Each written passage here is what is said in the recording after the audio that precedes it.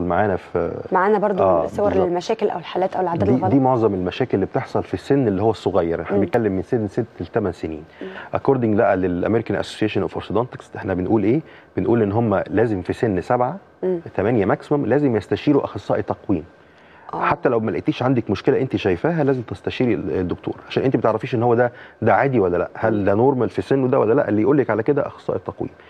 زي ما حضرتك شايفة إحنا ممكن يبقى عندنا مشاكل كتيرة جدا بتحصل وموجودة في الأطفال في السن ده. علاجها في البدري بيوفر عليا مشاكل كتيرة بيوفر عليا آه، مشاكل كتيرة ممكن تحصل وقت النمو.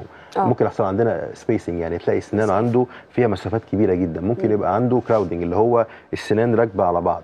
طيب open bite ودي من الحاجات المشاكل كتيرة جدا. open bite اللي هو اسنانه ما بتقفلش. المفروض إن اسناننا تبقى قافلة على بعض. ال- ال bite أو ال open bite اللي موجودة دي بتعمل له مشاكل كتيرة جدا جدا معاه في النمو بتاعه. آه، في حاجات برضو زي العضة الخلفية أو العضة اللي هي مش مظبوطة الكروس بايت برضو زي تحت إحنا شايفين الصورة اللي هو فيه عندي بروز. في الفك أو النبين دي من آه. الحاجات اللي بنشوفها كتير قوي صح. بتلاقي النبين بتوعنا ما لهمش مكان إن هم ينزلوا. ليه؟ عشان الأسنان بتاعت اللي قدام خدت المساحة بتاعت النبين اللي المفروض إن هم يبدلوا. فهم فوق فهم. فوق متشعلقين فوق. فإحنا لازم نشوف الدكتور تقويم أخصائي تقويم هو اللي يقدر ينزل له النبين دي بط- بطريقة من الطرق دكتور بتاع احمد عشان كده التقويم. كنت بشوف ناس كتير قوي من صحابي كنا يعني وإحنا صغيرين في, في المدرسة بيقعدوا بالسنة وأكتر من سنة بيبقوا عاملين تقويم ويبقى بعد ما يشيلوه ما بنحسش بفرق. يعني بالظبط. نفس أسنانهم نفس الأعوجاج نفس المشكلة. فده بيبقوا روحوا لدكتور مش تخصصه تقويم. بالظبط يعني دكتور أسنان آه، ما يدينيش نفس النتيجة.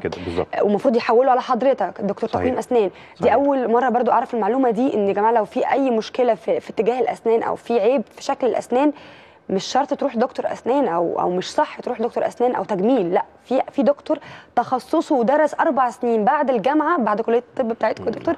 أربع سنين هو في التخصص ده. فدي مهمة جدا. طيب دكتور إيه أفضل سن؟ لعمل آه، التقويم. يعني في سن الصغير بيبقى أفضل لل- للطفل. كل. ما ما نلاحظ أو الأم تلاحظ إن شكل الأسنان أو اتجاه الأسنان مش مظبوط. في سنه راكبة على سنة في مسافة. تروح للدكتور تقويم اسنان بدري ولا لا؟ نسيبه شوية العظم بيكتمل الأسنان بتكبر. بتطول. إحنا بنقول دايما إن زياره اولانيه ممكن تروح بيها عند دكتور الأسنان أو أخصائي التقويم تشوفي هل في مشكلة عندك ولا لا. طبعا لو أنت لاحظت إن في حاجة أي حاجة مش مظبوطة أو غير طبيعية زي العادة اللي قلناها أو اعوجاج في الأسنان أو شكلها مش مظبوط نعم. هتروحي تتأكدي عنده هل هو ده طبيعي في سنه ده ولا لا. ليه؟ لأن أنا لو عندي مشكلة دي وأهملتها لغاية ما كبر عدى مثلا 11 12 سنة بالذات في مشاكل الفك. المشكلة دي ملهاش علاج في الوقت ده غير تدخل جراحي مع إن المشكلة دي كان ممكن تتحل بمنتهى البساطة عند سن 8 سنين عن طريق جهاز متحرك بسيط جدا ممكن يقوم لي الدنيا. ويظبطها. فعشان كده بنقول إيه أنت ابنك أو بنتك وصلوا حوالي ست أو سبع سنين ما فيهاش أي مشكلة لما تستشيري أخصائي التقويم تشوفي هل أنا عندي مشاكل ولا أنا ماشية في ال track المظبوط الحمد لله أسناننا كويسة. بنطلب اشعات panorama بنشوف وضع السنان اللي هي ما بدلتش لسه دايما أخبارها إيه مكانها فين بنحدد على أساسها إحنا ممكن نتدخل بدري ولا لأ. بس دايما sooner the better زي ما بنقول في موضوع التقويم بالظبط عشان كان بدري آه نعالج مشاكل كتيرة ممكن تترتب عليها إهمالنا في الفترة السنية دي. طب المشاكل الموجودة في الفك إيه هي؟ بصي هي ال- الموضوع ده مهم جدا. يعني عندنا مشاكل في الفك بالنسبة للفك العلوي والفك السفلي. آه بنشوف كتير قوي من الأطفال بيبقى عندهم زي بروز كده أو آه، في الفك السفلي بتاعهم بيبقى آه. آه. طالع لقدام قوي. البروز ده بن... إحنا معانا الفيديو ممكن بالظبط، تشرحها لي دكتور أحسن. بالظبط. آه، ده بيبقى طفل عنده بروز في الفك يعني العضة بتاعته مش مظبوطة في تقدم في الفك تحسي البروفايل بتاعه البروز طبعا إحنا شايفين في الفك اللي تحت في الفك السفلي. بالظبط علاج الموضوع ده بمنتهى البساطة بيتعمل له جهاز كده ثابت وجهاز متحرك. جهاز ثابت بيتحط على الأسنان وبتركب له حاجة اسمها face mask face mask زي جهاز كده معين بيتلبس عدد ساعات معينة في البيت ما بيخرجش بيه طبعا بيتركب فيه أساتك بحيث إن هو بيحفز لي نمو الفك اللي فوق وبيهبط أو بيثبط نمو الفك ال- ال- السفلي. ففي في الوقت ده بقى مهم جدا. ليه؟ لأن هو الفك بينمو.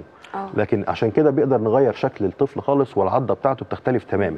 فده من الحاجات المهمة جدا. إحنا إن إحنا في الفترة السنية دي إحنا بنتكلم في 8 سنين 9 سنين 10 يمكن جاي متأخر شوية. لكن لو عدينا بقى 12 13 خلاص نمو الفك بالنسبة لنا بدأ يقف ويقل. آه. فما أقدرش إن أنا اقومه ففي الفترة السنية العمرية الصغيرة دي أنا بقدر اقوم الفك لأن هو في نمو لسه عند الطفل.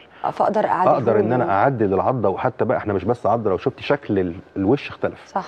لأن الموضوع ده خدي بالك برضه هو لما جالنا بدري هيزيد معاه. هيفضل يزيد لغاية ما نمو الفك يقف. فهتلاقي في ناس عندها بروز جامد قوي في الفك. حتى في الفك العلوي برضه بنفس اللي هو الضب زي ما قلنا حضرتك بتلاقي في ناس أطفال عندهم المشكلة دي بادية من الصغر. لا ما استناش لغاية ما أكبر وأحلها لأن أنا حلها في الوقت السن في العمر ده لسه هيبقى في منتهى البساطة وفي فتره. قليلة. فهيقدر يتعود على الشكل اللي إحنا أستفيد عايزينه من فترة نمو طيب الطفل التقويم ده بيبقى مؤلم